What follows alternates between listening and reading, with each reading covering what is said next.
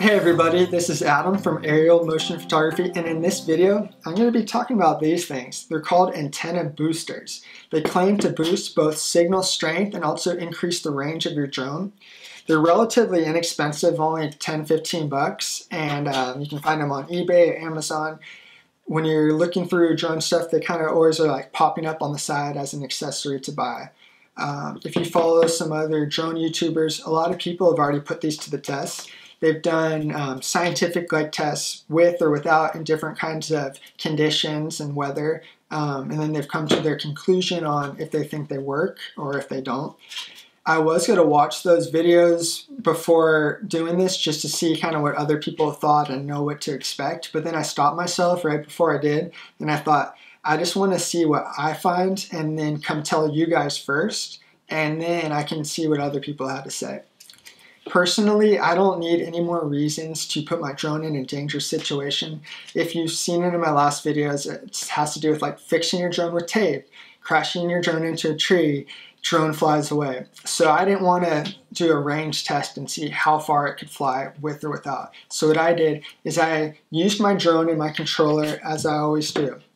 Normally, no range boosters. And as soon as you kind of get to the edge where the video feed starts losing quality, also you see the signal dropping, and it's kind of right before it actually says like signal lost.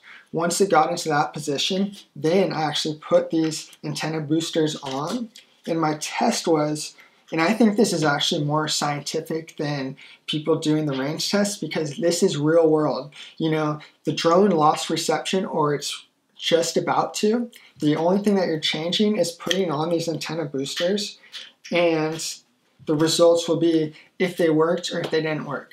So you think it worked, I'll put a pull up right here if you think it helped or didn't help.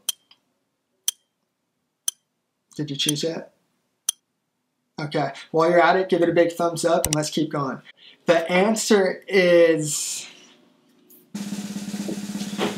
drumroll please, kind of.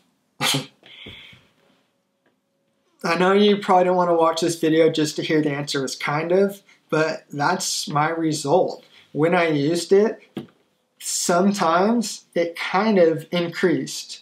Other times it didn't work. Um, I wasn't like putting this on and then boom, all the signal was back. I was just blown away with it. Um, I wasn't blown away with it, but it was nice, you know, to have something in your back pocket. If your drone starts to lose signal, you can throw it on and there's a chance that maybe it will help. And that concludes this video on the antenna boosters. If you enjoyed it, found it educational or entertaining, give it a big thumbs up. That means a lot to me. Subscribe down below and check those notifications if you want to see more videos like these, tips, tutorials, etc. My name's Adam. As always, fly safe, take care, peace. you